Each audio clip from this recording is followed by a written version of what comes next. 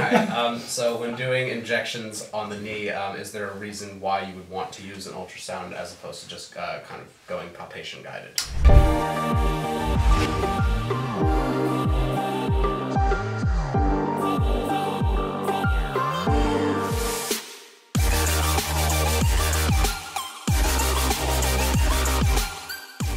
Yeah, so um, the reason is for increased accuracy. So when you're doing a blind uh, approach or a palpation guided approach, it's about 70% accurate, um, if I'm remem- remembering the research correctly, whereas with ultrasound or fluoroscopy, you're anywhere from 95, 96, upwards of 100%.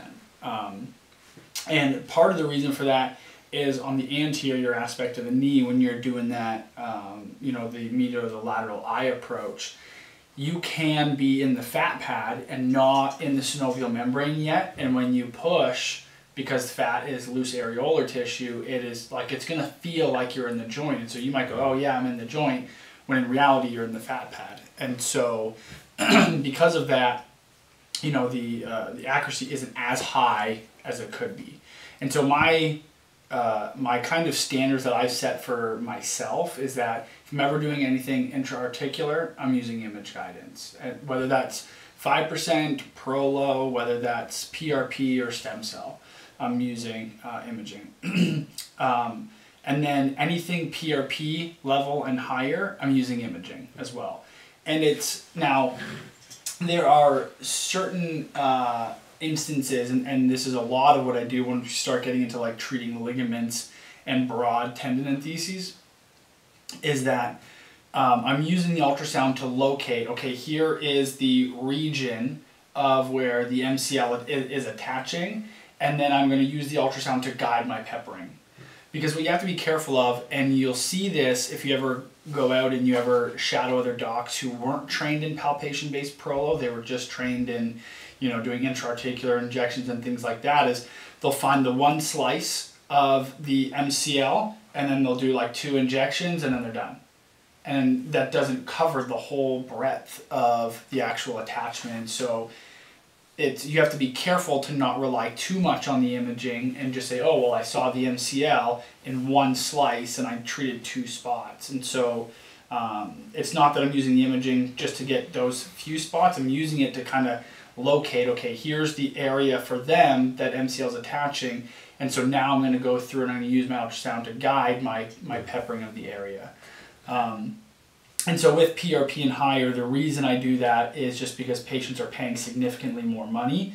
And um, one, it's really good to be able to show them, okay, here's what we're going to be injecting and that kind of stuff. That helps them feel a little more comfortable and confident with your treatment. Um, frankly, it probably increases the placebo effect of the treatment, which, hey, if we can add in imaging and that improves their outcome just because of placebo effect, I'm cool with that. Um, yeah, so that's that's kind of my, my standards that I set. Did that answer your question? Yep. do you even consider prolotherapy for OA anymore, or do you just jump? Yeah, no, I do. Yeah. Um, it is uh, one of the big things for me in my practice is uh, whether patients in or out of state. Because most of my injection patients right now are coming from out of state, and so if if we have Prolo and PRP, and I predict it might be four Prolo treatments but two PRP treatments, and it costs them fifteen hundred bucks for flight and accommodation, I'd rather save them three thousand on travel for them to spend an extra thousand on the treatment so that way they actually save $2,000 if my projections and, and my hypotheticals are, are correct. So, um, so because of that, I end up doing a lot more PRP than I do Prolo. Mm-hmm. Um, but a lot of the times, if, if someone's in state, I'll generally start with a Prolo unless they really are wanting to do PRP just to make sure we're in the right location, we're getting a positive response, uh, that type of stuff um, and then moving forward from that. So if you had a patient in state with uh, pro, with a like an OA, maybe a like a type two or something like or something not that severe yet. Start with grade two. Grade two, okay. yes. Um, and it's not that severe yet. Um, but you want just to see if the treatment would help. use PR, use a Prolo first, and then maybe move on to PRP after Yeah. that. Yeah. Do you ever think that um, like a PRP one and done would be more beneficial than like a series of Prolos, or do you just want to gauge to see if they're getting better first with the Prolo? Um, I mean, sometimes it's gauging. Yeah. Sometimes it's just going straight for it. So the other thing too is uh, is the financial constraint. So if someone says, you know, I only have a thousand bucks, Yeah. you know, to be able to do this, you know, every four to six weeks, then then that might put them into the okay, let's just do Prolo, and we might need to because remember, even if they plateau, they could hang out at that plateau for a month or two while they save up more money. Generally, most people are not going to regress majorly during that time, and so you could space treatments out every three months, even though they might need it every six weeks. Um, and so, uh, so that's probably one of the uh, the reasons. And I, I think most of the time, the decision for pro versus PRP is, is usually a financial. I still have not yet uh, found a um, like a really strong. Oh, I think that you need to have Prolo over PRP because of this thing that's occurring. Usually, it's actually the reverse, right? Where if they have uh, fat pad impingement or they have um, you know some bone marrow edema and things like that, generally the biologics are going to do Right. better than five or twenty five percent dextrose. And then, uh, how would you compare the one? What's the comparison in cost between Prolo and PRP generally? And then in addition, what? How many treatments of Prolo do you think is uh, the same efficacy as one of PRP? Uh, for Neo I'd probably say a PRP treatment is uh, one and a half to two times the strength of Prolo, uh, depending. And then uh, the price jump is usually uh, anywhere between 300 to 500 bucks increase. So about a uh, 50% increase. So, similar efficacy to price comparison, about two times in each. No, well, not no no. So it, it'd be so the price would go up by about thirty to fifty percent, Yeah. but the efficacy could go up by generally, and it's on the higher end of twofold. Yeah. So you're getting a doubling, and so when when I compare cost effectiveness with like the um, the outcomes, generally it's it's smarter economically to do PRP. Okay. Just the way I have it structured and set up. And regarding the efficacy of the Prolo solution, I know we've talked about like the percentage and how there haven't been any comparative studies, Right. twenty-five versus fifty percent. Do you feel like are, are there are there safety reasons as to why we don't go higher percentage in um, in joints? And if not, do you feel like it could be more efficacious if we if you did a higher percentage dextrose? So that's a good question. I don't know. And now the the the question is really how do we balance the um, the hyperosmotic effect that we're you know putting into that knee joint because we're changing the osmolarity so the the the chondrocytes and the cells of the meniscus and all that type of stuff are being exposed to a really high osmolarity content, which is going to pull water from them, which can cause some apoptosis, and is part of this cascade of healing and, and initiating that. And so, what's the tipping point on too much versus not enough? I, I don't know. And my my guess is that it's patient dependent, and it's also um, uh, the severity of the condition dependent and the location you're doing the injection dependent. And I just don't think we're anywhere near understanding, you know, uh, what where that actually comes from. So generally, what I say is, look, we have a really good study. That's the Topol study that I refer to all the time. It's from 2017, I think, or 2018 Wow, recent.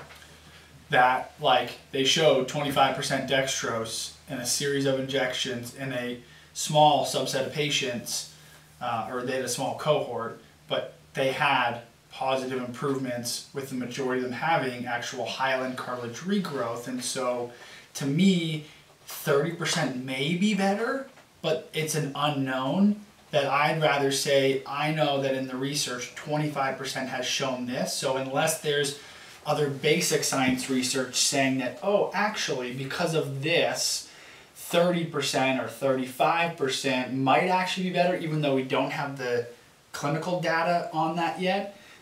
I haven't seen anything in the basic science to suggest that to make me truly go higher than, than the 25%. Yeah. That makes sense. Yeah.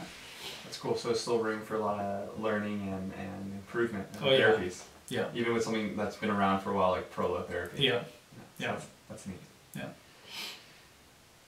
What are your thoughts on reducing the amount of anesthetic used and adding saline instead? That's so that's generally what I do. Okay. Yeah. Um, so uh, right now my ratio is so I use ropivacaine and I do um, about one tenth of the solution as ropivacaine. So if I have a, if I'm making ten cc's of Prolo, I add in one cc of ropivacaine, my dextrose, my Traumeel, and then the rest of it is uh, normal saline. Yeah, and that's based off. Um, I'm pretty sure this was the Centeno study, or a study that he was involved with, looking at um, actually stem cell function in relation to different concentrations of different local anesthetics. And ropivacaine at a, um, a 12 and a half percent solution uh, didn't really impact stem cell function, whereas even like lidocaine or even marcaine at that concentration affected it.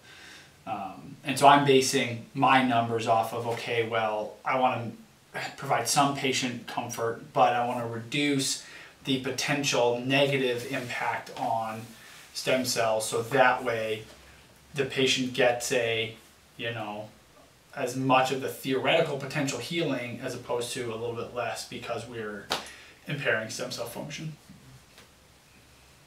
How do you spell Topol? T O P O L. So you're saying you're using a ten percent right relative dextro. I mean, um, anesthetic solution. Yeah. Yeah, so just under that 12 and a half. In regards to lidocaine, what, do we know the percentage of lidocaine they used for, for that study showing the chondrotoxicity? Uh, for the stem cell one, I can pull it up more back in the room. But it, lidocaine was uh, better, so not as harmful as marcaine, but it was more harmful than ropivacaine. Yeah.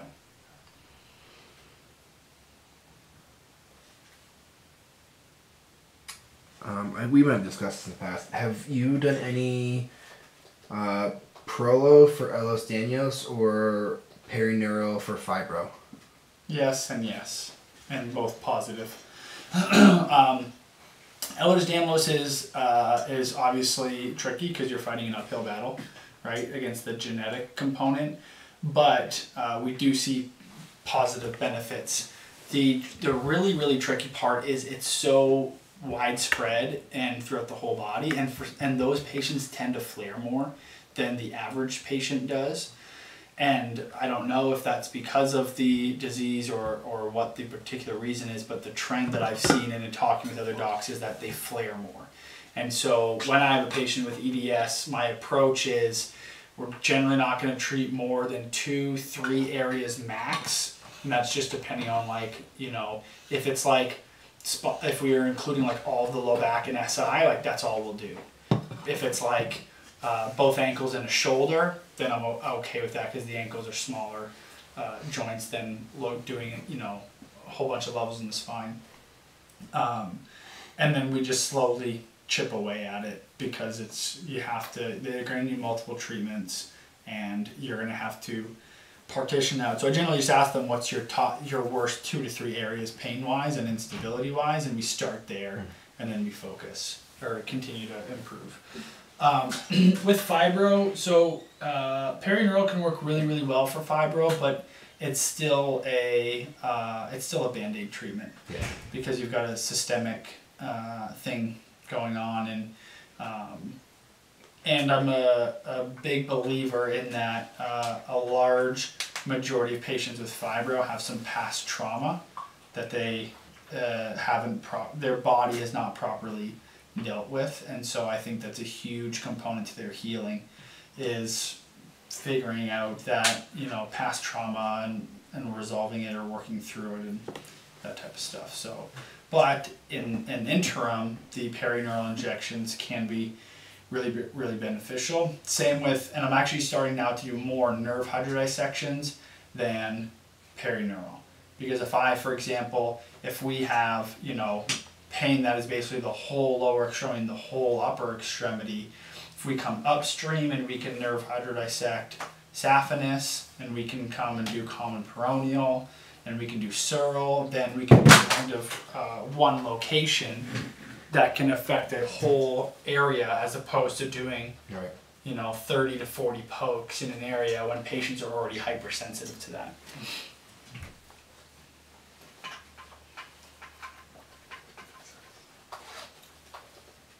Anything else? You talked about um, using peptides last Friday. Yeah. Awesome. Would you like to talk? Yeah, yeah, good. Like the food too. Well. Um, do you feel like at this point, any of those peptides? I wanted to ask afterward, but I had to go to shift. Any of those peptides are, are worth replacing the Prolo or the PRP currently, or do we still need to get more research on those peptides? Um, so I think we need more research to really be able to say that. Intra-articular BPC seems to be working really, really well, but again, I don't know how it compare truly how it compares to uh, you know a side by side comparison with prolotherapy or even PRP. Um, there the um, the PPS, the pentosan polysulfate sodium works can work really well intra-articular. The AOD 9604 with hyaluronic acid can work well uh, intra-articular. Um, I'm trying to remember. I don't think there has been a study that compares that to just straight hyaluronic acid. I'd want to see that. Um, and then there was one more that I was going to say for intra-articular. But so I, I think I definitely think there's going to be a right now. There's a huge boom in um, systemic use of peptides, right? Oral capsules, subcutaneous injectables. I have a feeling, especially with November coming in the whole FDA stuff with stem cells, is that docs may sh- start shifting to try and, and figuring out combinations of peptides, whether that's a combo of oral, systemic, and injectable, to kind of uh, try to be able to mimic what a you know an autologous stem cell procedure is doing. And I think it's it's potentially possible. It may uh, and it'll probably be just near as expensive as doing a stem cell procedure, but it might avoid the whole all the FDA stuff. So I think there's going to be a big boom in injection use of peptides over the next year or two years that I think will be cool. But I'm look, I'm looking forward to seeing studies, and there are ongoing studies, especially through TaylorMade. They're getting their docs to do, you know, some smaller, you know, intra practice studies and things like that. There we go. It's gonna somewhere. Yeah. So our main uh, landmarks for our knee, okay? Obviously, we're gonna have our kneecap. The tickle. Yeah. I'm like super ticklish. Place your hand right here. The tickle anymore? Yep. Yeah. Never mind. You can move your hand then if it didn't work. You guys know that trick? Yeah, you have them. Have them palpate. put their hand because their brain thinks it's them. They're guarding too. Yeah. And, like, patellar ligament down onto our tibial tuberosity.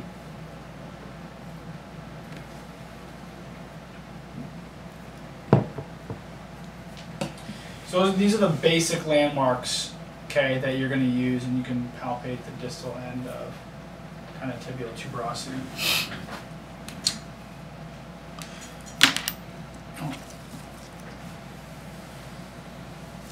Can you guys see well enough?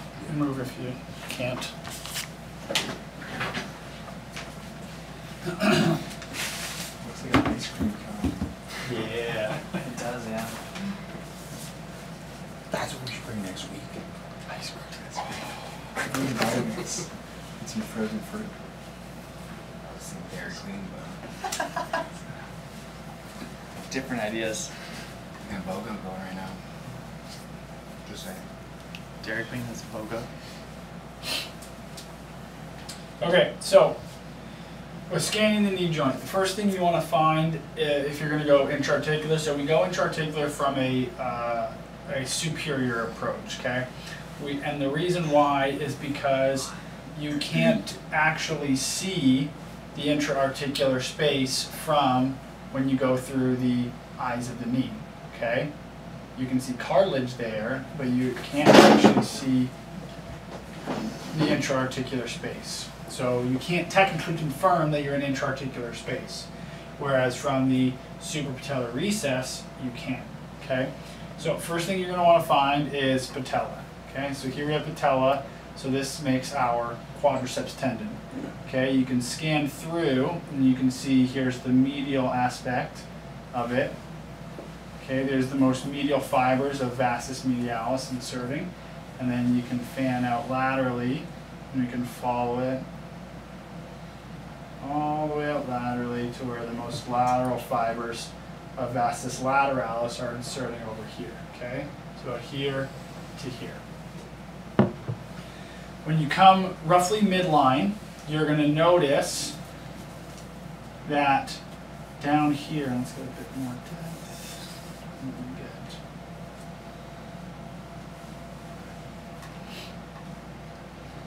Everyone see still? Mm-hmm. Okay, so this down here is what? Femur. Right. So femur, patella, and then at some point through here when you're scanning, you will find the suprapatellar recess.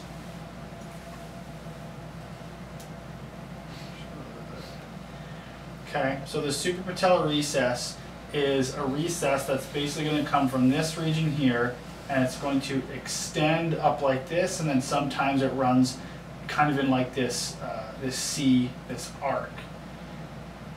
Sometimes in patients that don't have a lot of pathology, we actually need to uh, get them into more knee flexion. So let's have you there.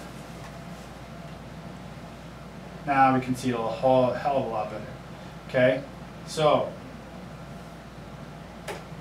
this right here, okay, starting from here, going up, here, here, and then coming across, that's the suprapatellar recess, okay?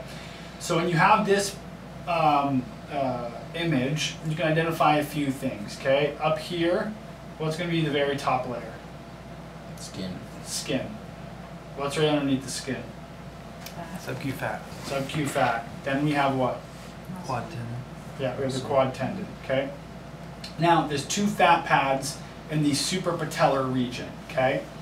This one here is called the suprapatellar fat pad, okay? You can remember it because it's the only fat pad that's actually touching the patella, hence why it's named suprapatellar.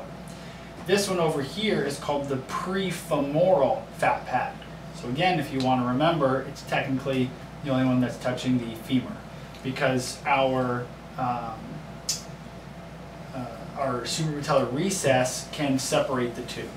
Now, in some instances, especially when you have some swelling, you may have a scenario, you don't in you, you may have a scenario where you can, the line that you would see down this way would go tendon, suprapatellar fat pad, recess, prefemoral fat pad, then femur. Okay? So that's just important to understand what you're looking at so that way when we flip this to actually go intra-articular, you have a better appreciation of what you're looking at. So this is how you start and you find access to the joint. Okay, so I usually try to find, I don't like it when it's like, like here. Because you see how this doesn't really look like it's connected to here? It is, it's just the way that it's shaped, it's not looking like it. I don't like to go in this area just because I just want a clean, clean slice to look at. So, oops. So right there is probably where I would start my rotation, okay? Most of the time, this is gonna be slightly lateral off the knee, okay? So here is midline. You see how we don't see it overly well right in here? Comes slightly off lateral. That's generally where you're gonna see the suprapatellar recess easiest, okay? Then from here, we're going to rotate our transducer 90 degrees, keeping this suprapatellar recess in view, so that way we can do our injection. So from here, we're gonna rotate it, and we're gonna keep that spot dark.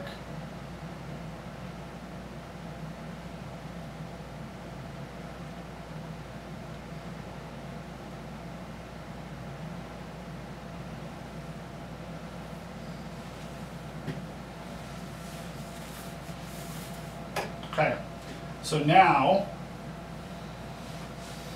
this right here, see that line going across? That's the suprapatellar recess.